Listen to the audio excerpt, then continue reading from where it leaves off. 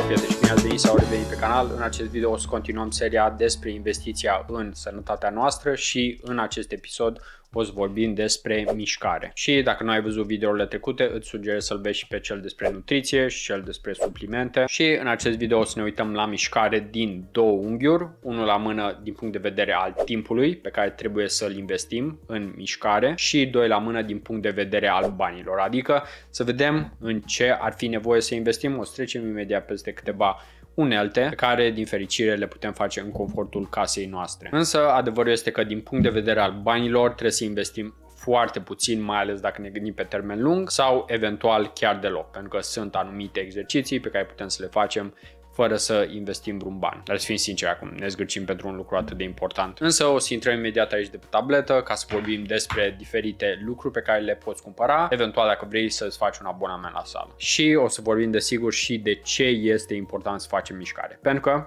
Hai să ne uităm la Jeff Bezos, unul din cei mai bogați oameni din lume și după ce s-a retras, putem să vedem că are un fizic, am putea spune, destul de impresionant. Unul la mână pentru că se simte mai bine, dacă arată mai bine, dar doi la mână să nu scoatem din discuție și faptul că acum cu siguranță se concentrează mai mult pe sănătate decât atunci când încerca să creeze una din cele mai mari companii din lume, Amazon. Și de fapt asta nu este nimic nou, vedem acum și cu Zuckerberg care deține Meta, Facebook și acesta s-a apucat de jiu deci e clar că la nivel mondial vedem un focus mai mare pe sănătate, pe somn, pe alimentație, pe nutriție și până la urmă pe longevitate. Și de ce contează asta foarte mult?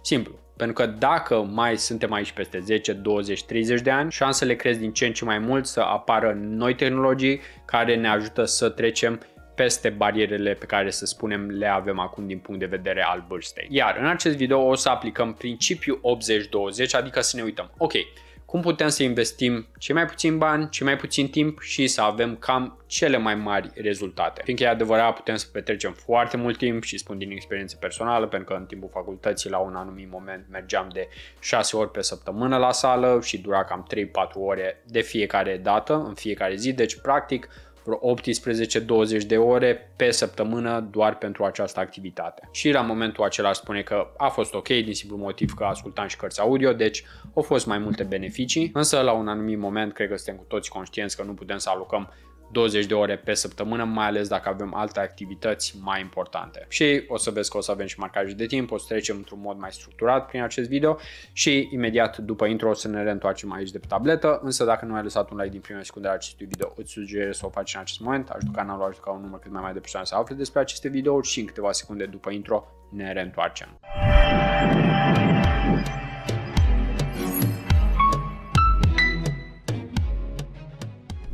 Ok, și acum când am întors, hai să vorbim despre mișcare și unul la mână o să începem cu o întrebare destul de importantă și aceea este e important să facem mișcare sau altfel spus de ce să facem mișcare. Și acum nu o să încerc să te plictisesc foarte mult cu toate știința, studiile și așa mai departe, însă aș spune că majoritatea dintre noi aș spune că 1000% suntem de acord că mișcarea este bună. Și un mod foarte simplu de a observa asta este pur și simplu să ne uităm la ceea ce ni se întâmplă atunci când suntem sedentari. Și cred că am observat cu toții că în momentul când nu prea ne mișcăm, nu ne simțim la fel de bine și pot să apară și anumite probleme de sănătate. Așa că nu o să încerc să fac pe doctorul tău, putem cu toții să citim acele informații online. Sau, de fapt, dacă te duci la doctorul tău. Însă, hai să vorbim destul de repede despre utilitatea mișcării, pentru că sunt mai multe și când ne gândim la utilitate, din ce puncte de vedere ne ajută. Unul la mână, nicio surpriză, din punct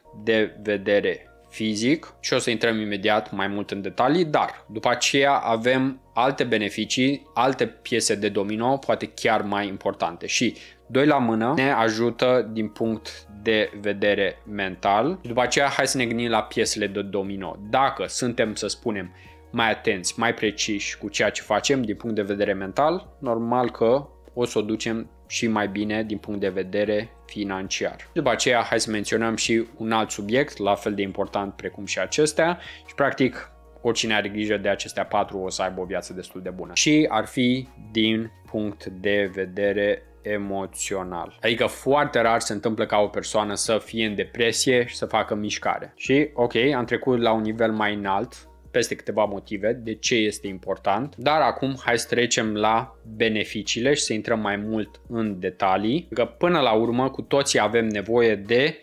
motivație, dar și de inspirație. Adică, unul la mână ai nevoie de un motiv ca să începi și după aceea o motivație ca să continui. Și să ofer un exemplu personal, de fapt, dacă te uiți la acest tricou, s-ar putea să-ți dai seama, e unul când eram mai mic și de fapt și în ziua de azi m-am uitat, mă uit la o animație, un anime numit Dragon Ball și adevărul este că în cel mai multe cazuri suntem media celor 5 persoane pe care le urmărim sau în jurul cărora stăm. Sau ai putea să spui persoane pe care le admirăm. Și de fapt în acest anime, ca în multe altele de fapt, este mereu vorba despre a deveni mai bun. Și o să menționez doar următorul lucru, că dacă vrei puțină inspirație, gândește-te în felul următor.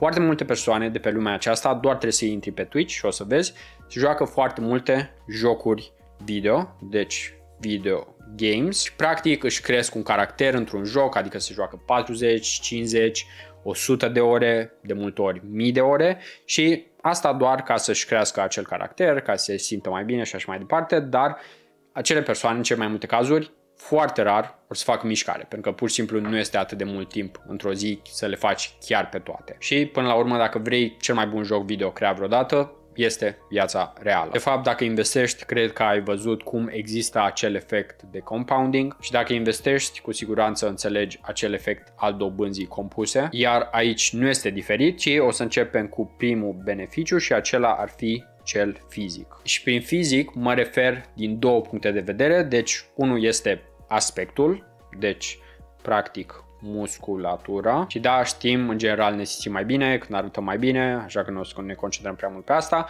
și după aceea mai este vorba și despre utilitate, deci practic despre faptul că ne putem folosi acea musculatură și asta o să devină mai important să spunem peste anumite decenii. Adică până la urmă cum este cu orice în viața asta, ori folosești un lucru, ori se degradează. După aceea, doi la mână, cum am menționat și mai devreme, ne ajută din punct de vedere mental. Asta și pentru că, să nu uităm, atunci când arătăm mai bine, ne simțim mai bine și în momentul când ne simțim mai bine, vorbim cu mai multă încredere, practic ne crește și testosteronul, luăm mai mult risc, care câteodată normal. Poate să fie bine sau poate să nu fie bine, însă ca să păstrăm lucrurile destul de simple, știm că atunci când ne simțim mai bine din punct de vedere mental, o să putem să o ducem mai bine și din punct de vedere financiar. Nu de alta, dar de ce crezi că persoanele care arată mai bine, în cel mai multe cazuri, dacă ne uităm și la anumite studii, câștigă mai mulți bani? Sau te poți gândi la tine în felul următor.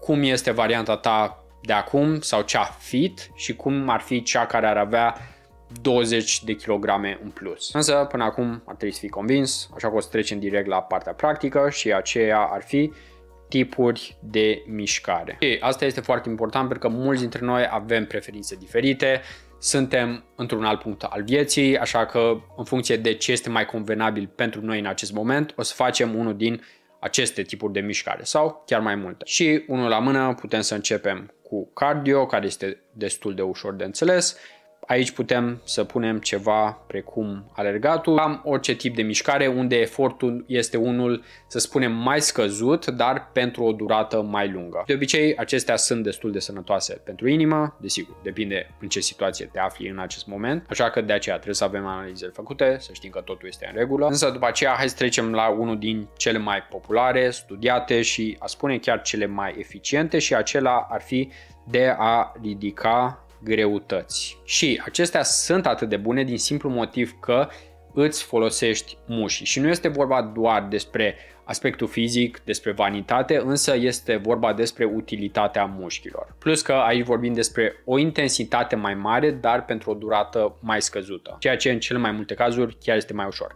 Adică când faci cardio și mai ales dacă alegi pentru o perioadă ceva mai lungă, o să fie foarte greu, să spunem, la un anumit moment. Pentru că este mai mult vorba despre partea aceasta mentală, de a rezista, să alergi pentru o perioadă mai lungă când lucrurile devin dificile, dar atunci când ridici, este pur și simplu vorba despre a repeta un proces pentru doar câteva secunde. Și după aceea mai avem diferite tipuri de activități, precum crossfit sau spinning și până la urmă ceea ce trebuie să te întrebi este care este scopul, adică vrei pentru sănătatea inimii, vrei mai mult pentru a arăta bine și pentru o musculatură mai mare sau să fii într-un grup de persoane, să ai și niște coaching și atunci ar intra clase de spinning, eventual yoga, însă să nu uităm că după aceea fiecare o să aibă un efect diferit asupra corpului nostru. Și personal, ceea ce aș recomanda, pentru că o să ne uităm imediat și la niște achiziții pe care putem să le facem, Aș spune că ridicatul greutăților este și cel mai convenabil, putem să-l facem și acasă, plus că chiar am aici deschis ChatGPT. Putem să folosim ChatGPT, putem să ne uităm la niște videouri pe YouTube, este foarte simplu să vedem care este forma corectă, adică nu este în cel mai multe cazuri nimic complicat și vedem aici, dacă am întrebat ChatGPT, să ne ofere niște exerciții importante, primim aici pentru fiecare grupă musculară și în cel mai multe cazuri aș spune că acele mișcări care ironic sau nu se numesc compound, acelea sunt cele mai bune.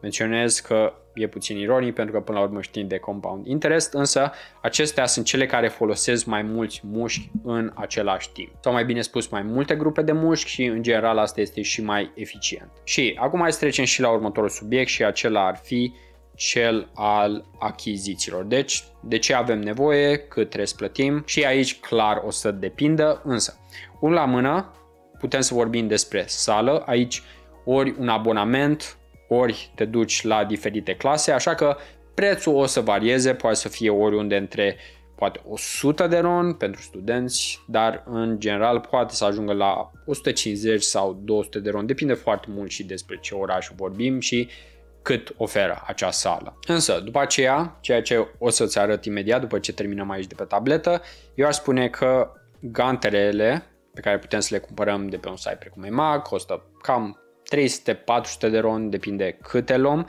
dar în general ganterele și o bară sunt de ajuns. Adică cu acestea putem să lucrăm cam orice mușchi din corp și în general dacă ar fi să vorbim despre aceste mișcări compound, chiar pot să ofer câteva exemple și o să folosim aici engleza pentru că în general ți-aș sugera să le cauți în engleză, dar squat, adică genul flexiunile, în general ar trebui cu greutate ca să ne lucrăm mușchii mai bine. Apoi ar mai fi deadlift-ul, adică îndreptările. După aceea am mai avea bench press, practic pentru a-ți lucra pieptul, este pur și simplu vorba despre împins. Ce drept e puțin mai dificil acasă dacă nu avem un tip de bancă, însă în general putem să ne luăm, să spunem, un scaun din acela de pianist și am putea să ne descurcăm. Dar desigur, safety first. Așa că grijă mare să nu ne accidentăm. Și după aceea mai avem și alte versiuni, precum Kettlebell-ul, o să pun acum o imagine pe ecran ca să se vadă cum arată una și aceasta este foarte eficientă, este practic un alt tip de greutate, de ganteră. După aceea mai avem multe alte variante, precum benzi,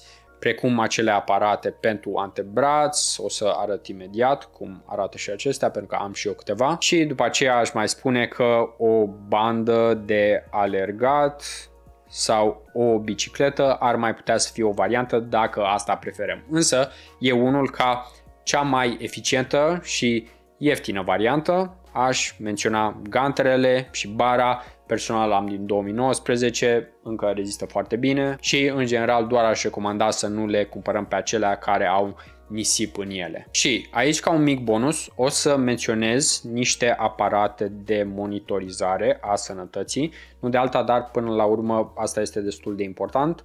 Nu toată lumea poate să facă orice tip de mișcare, mai ales dacă vorbim despre persoane mai în vârstă care s-ar putea să aibă anumite probleme. Și o să arăt imediat, după ce ieșim aici de pe tabletă, câteva pe care le am și eu. Am o bandă polar H9, aceasta pur și simplu măsoară bătăile inimii și în general ar trebui să le avem undeva între 1,60 și 100 și de exemplu dacă am măsurat la atleți, aceștia chiar au un nivel mai scăzut pentru că practic inima lor este mai eficientă, practic pot să aibă oriunde între chiar un 40-60.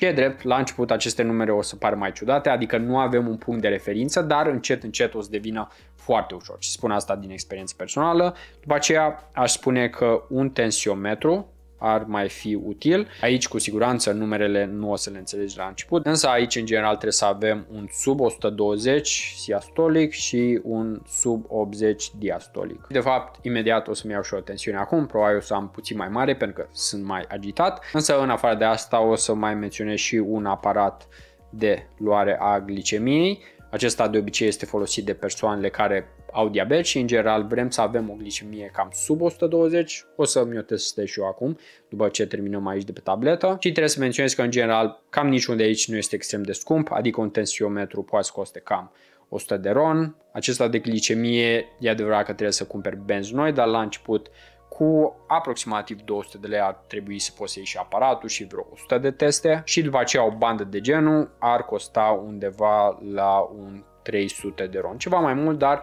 nu este neapărat necesar. Adică dacă ne gândim din punct de vedere al utilității, mai important este să începem să facem mișcare și abia apoi să monitorizăm. Asta desigur în condițiile în care deja avem analizele făcute, știm că putem să facem mișcare și așa mai departe. Însă cu asta am ieșit de pe tabletă și hai să ne uităm peste câteva lucruri pe care putem să le cumpărăm. Deci, unul la mână, după cum am spus, ganterele. Acestea, sincer, pot fi folosite în atât de multe moduri, plus că poți să pui diferite greutăți, așa că personal le-aș recomanda să preferatele mele și poți să îți lucrezi, să spunem, umărul, poți să îți lucrezi bicepsul și poți cauți pe internet pentru mai multe detalii. Huh, deja cred că am niște hormone ai fericirii care au început să funcționeze. Ok, după aceea, Personal, nu este ca și cum recomand atât de mult aceste lucruri pentru antebraț, dar dacă te interesează să-ți lucrezi cât de cât antebrațul, poți să iei lucruri de genul care sunt destul de ieftine, adică aceasta chiar este ceva mai grea, adică are 90 lb, ceea ce înseamnă, cred, o forță de cam 40 de kg și personal aceasta am luat-o după ce am luat toate celelalte lucruri. Adică este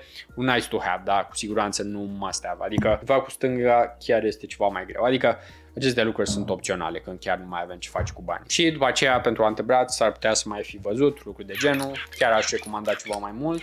Face un zgomot nu prea plăcut, dar dacă ai niște căști, totul este în regulă. Poți să faci și când te uiți pur și simplu la un serial pe Netflix. După aceea, o altă chestie pe care personal la fel. Mă spune că nu mai ai ce să faci cu banii, când ai încercat toate celelalte lucruri, poți să încerci un giroball ca acesta. Practic, trebuie să dai aici această bilă dinăuntru, să o dai în jos și după aceea singură, cu o anumită forță, începe să se învârte și tu doar trebuie să dai din mână practic, pentru că ea se mișcă și miști tu, este ca și cum ai împinge ceva, dar doar prin a roti mâna. Personal, da. Aș spune că nu este ceva care ar fi prioritar, așa că doar că n-ai ce faci cu banii, îți sugerez să te uiți pe AliExpress pentru lucruri de genul. Și acum hai să trecem și la aparatele de monitorizare, deci avem aici un Polar H9, cred că între timp a apărut și H10 și aceasta pur și simplu ți-o pui aici, sub piept și cu o aplicație pe telefon poți în timp real să vezi câte bătăi ale inimii ai în acel moment și după cum am menționat și mai devreme ar trebui să avem undeva între 60 și 100 și dacă avem mai scăzută, înseamnă că avem o inimă mai eficientă și în general este bine să cunoaștem aceste lucruri. După aceea, hai să arăt și tensiometru, sunt foarte multe pe piață, așa că nu contează neapărat pe care îl iei, doar să fie unul cât de cât de calitate. Practic, ai această chestie, care nici nu sunt sigur cum se numește, pe care ți-o pui aici și hai să ne luăm și noi tensiunea în acest moment. Ideea ar fi sub 120 cu 80 dar ce mai probabil o să fie mai ridicată. După cum se poate vedea, foarte ușor, durează foarte puțin